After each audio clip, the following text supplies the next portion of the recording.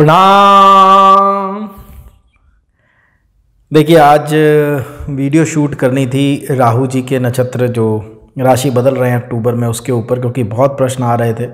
हालाँकि राहु केतु महाराज दोनों बदल रहे हैं लेकिन लोगों के ज़्यादातर राहु के बारे में आ रहे थे। तो सुबह मैंने सोचा था कि रात को उसी पर वीडियो बना दूँगा बट लेकिन शाम तक आते आते आ, कुछ प्रश्न ऐसे आए कि रक्षाबंधन को लेके जो कन्फ्यूज़न था और साथ साथ कन्फ्यूज़न से ज़्यादा उपाय आप बताइए कि रक्षाबंधन पे क्या उपाय किया जाए।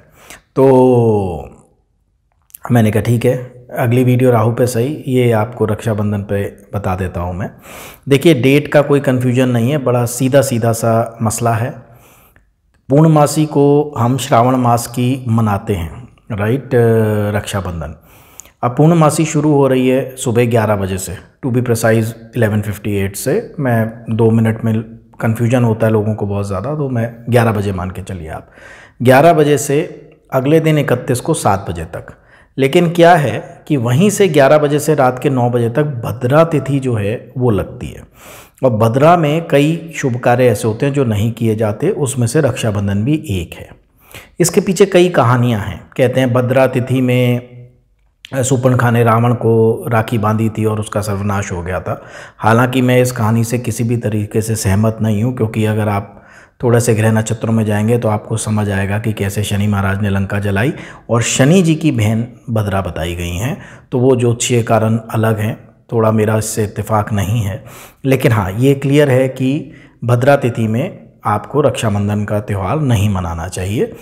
तो आप रात के नौ बजे के बाद, नौ बज के एक मिनट के बाद आप जो है, बाँध सकते हैं। लेकिन अगर आप मेरी बात मानेंगे, अगेन मैं थोड़ा लॉजिक से चलता हूँ तो आपको इकतीस की सुबह, जब सूर्य उदय हो रहा हो, दिल्ली के टाइमिंग्स करीब छः बज के दो मिनट होंगे पंचांग में आप, आपको वैसे ही गूगल कर लीजिएगा, आपके सिटी में सनराइज़ कितने बजे हो रहा है।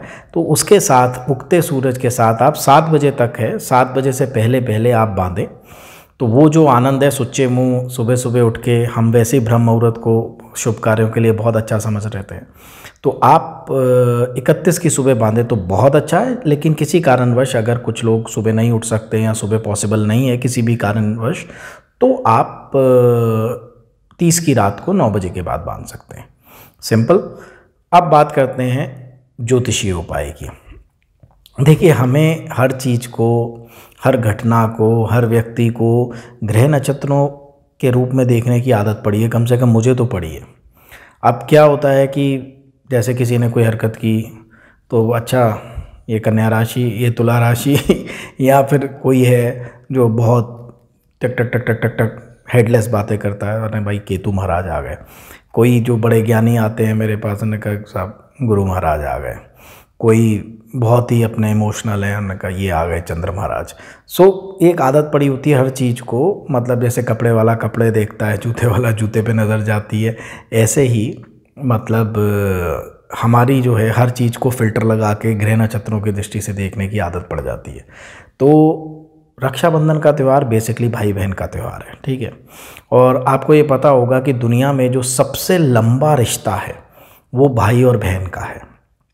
क्योंकि माँ बाप एक उम्र के बाद साथ छोड़ के चले जाते हैं। पति पत्नी बच्चे एक उम्र के बाद मिलते हैं। लेकिन जो सबसे लंबा रिश्ता है, वो भाई बहन का है। या सिबलिंग्स का मान सकते हैं भाई बहनों का है। हालाँकि अब कलयुग में हमारी फेवरेट महालक्ष्मी जी की वजह से रिश्ते उतने अच्छे नहीं रहे भाई बहनों के, लेकिन फिर भी मैं बहुत लोगों को जानता हूँ और मैं हमेशा पॉजिटिविटी देखी है मैंने चीज़ों में। तो मैं बहुत प्यार जिन भाई बहनों का है तो मैंने देखा है।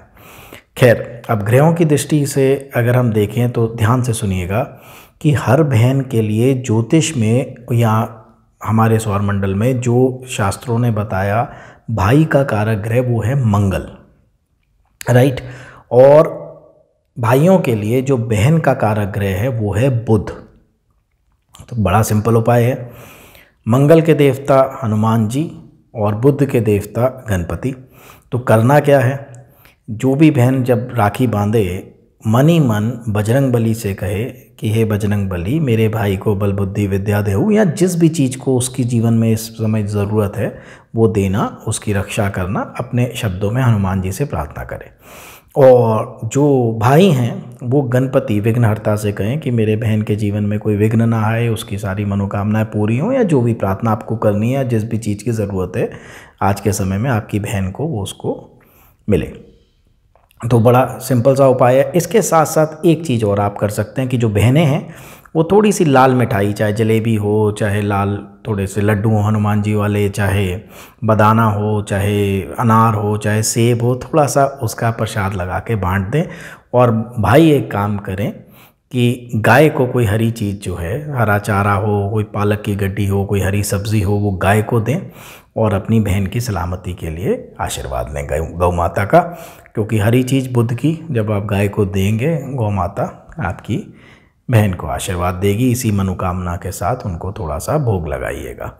तो ये सिंपल सा दो उपाय हैं। एक थोड़ा सा आप प्रसाद बांट दें और दूसरा जो है, बहनें हनुमान जी से प्रार्थना करें और भाई जो हैं, वो अपनी बहनों के लिए गणपति जी से प्रार्थना करें। तो आज के लिए इतना ही और एक छोटी सी प्रार्थना है। डरा मत करिए ग्रहों से आप लोग। इतने डरे हुए मुझे फ़ोन करते हैं, पहले से ही इतना डर मन में बिठा के, आधा तो आपको ग्रह नहीं मारता, डर मारता है उसका। अब पता नहीं कौन से उदासीन ज्योतिषियों के साथ बैठते हैं जो पहले गलत चीज़ें बताते हैं। मतलब आज भी मेरी किसी से बात हो रही थी, उसको बता दिया कि भैया पिछले जन्म में ऋण लिया हुआ था, ये बोझ बनेंगे तेरे ऊपर, ये समझ में नहीं आता आप ये उदासीन स्टोरीज़ क्यों सुनते हैं? आप ज्योतिषियों से कुछ पॉजिटिव पूछा करिए कि भाई कैसे जीवन को सुधारें, कैसे आगे बढ़ें, क्या करें, क्या ना करें, डर लेके क्यों बैठ जाते हैं? और डरने की कोई ज़रूरत नहीं है, ग्रह मौसम की तरह है, बस उसको समझ लीजिए और कुछ चीज़ों से बच जाइए। बस इतनी सी बात है, वहम मत पाला करिए, ठीक है? तीसरी चीज़, धुनी के लिए मैंने आपसे कहा था, जितनी मैंने बना पाया था, वो मैंने बना के कह दिया था ऑफ़िस में भेज दिए। अभी आप कोई ऑर्डर मत दीजिए, रुक जाइए कुछ जड़ी बूटियाँ अभी आने वाली हैं इस हफ़्ते में जो ख़त्म हो गई थी, वो आ जाएँगी। मैं खुद खड़ा होकर नया लॉट बनवाऊँगा, फिर आपको बता दूँगा, तब आप मंगा लीजिएगा। अभी आप पैसे ना भेजें, अभी आप थोड़ा सा रुक जाएँ। आज के लिए बस इतना ही। अगले वीडियो में आपको जो राहु महाराज बदल रहे हैं, उसके बारे में बताऊँगा। तब तक के लिए स्वस्थ रहें मस्त रहें। बहुत बहुत धन्यवाद बहुत बहुत आशीर्वाद और आपका फेवरेट प्रणाम।